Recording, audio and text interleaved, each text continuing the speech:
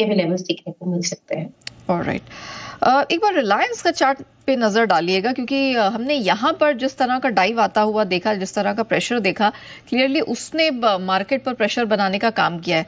मौजूदा स्तरों पे चार्ट्स पे क्या राय बन रही है रिलायंस इंडस्ट्रीज़ जी बिल्कुल चार्ट्स वीक लग रहे हैं नेहा। आज काफ़ी अच्छा खासा करेक्शन है। मेरे हिसाब से अब ये जो आया है करेक्शन ये इसको फर्दर डाउन साइड की तरफ़ ले जा सकता है, जिसमें 2805 तक के लेवल्स हमें इनिशियली देखने को मिल सकते हैं। तो रिलायंस ऑन चार्ट्स वीक लग रहा है। इसमें भी खरीदारी करने के लिए अभी थोड़ा सा रुक जाइए, क्योंकि और वीकनेस हमें देखने को मिल सकती है।